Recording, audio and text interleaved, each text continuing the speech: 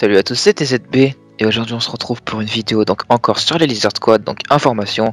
Pour cette vidéo je suis pas seul, je suis avec Floy.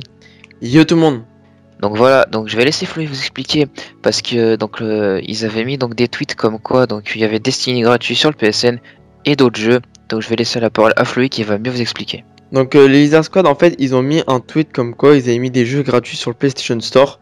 Donc ils ont mis Destiny, Ghost et Advanced Warfare. Donc euh, en gros ils, ont mis ces jeux gratuitement, donc on pouvait les télécharger, ils avaient mis le PSN euh, en ligne pendant quelques minutes en gros pour qu'on les téléchargeait.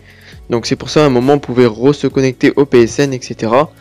Mais malheureusement là c'est Sony qui a arrêté leur serveur parce qu'ils ont vu qu'ils avaient changé euh, le paiement, en gros c'était gratuit à la place de 70 euros ou autre. Donc ils ont carrément coupé et après ils ont enlevé ça Sony et ils ont remis leur serveur. Mais les Lizard Squad ils ont re-DDoS euh, Sony car ils avaient remis tout à la normale donc du coup c'est pour ça qu'on pouvait plus encore se connecter. Donc euh, voilà en gros les Lizard Squad s'amusent vraiment avec Sony font vraiment tout ce qu'ils veulent et Sony ils arrivent encore euh, à pas protéger bien leur serveur donc c'est relou tout ça car ils font des milliards de, de dollars et ils arrivent pas encore à protéger bien leur serveur donc c'est du Le pire. de gueule Le pire c'est que voilà, Lizard Squad ils ont remis le.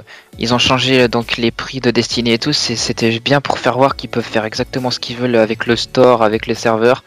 C'était vraiment pour faire voir que Sony c'est de la rigolade pour eux et que voilà ils peuvent faire ce qu'ils veulent. La preuve quand Sony a bloqué leurs serveurs et qu'ils les ont remis, bah ils, ils se sont tout de suite refait des DOS par euh, par Lizard Squad donc c'est du grand n'importe quoi. euh.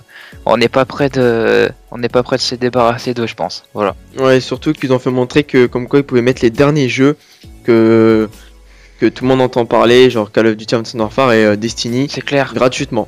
Donc c'est vraiment du, ils se foutent vraiment de la gueule de Sony, donc euh, ils jouent avec eux en fait. Donc voilà, c'est tout pour cette information. Donc n'hésitez pas à lâcher un max de j'aime pour cette information, ça me ferait vraiment plaisir. N'hésitez pas à la commenter en donnant vos avis. Et moi je vous dis à plus tout le monde. Allez ciao